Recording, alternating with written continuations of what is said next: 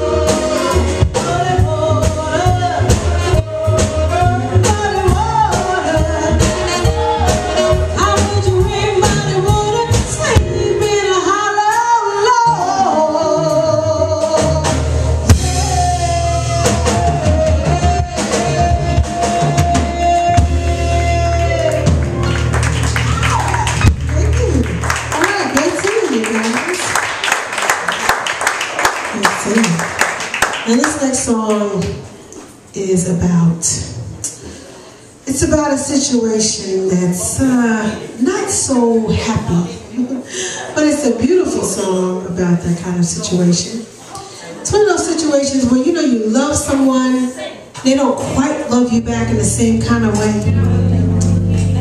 So I, I say that this is one of the most beautiful songs that I know, written about unrequited love.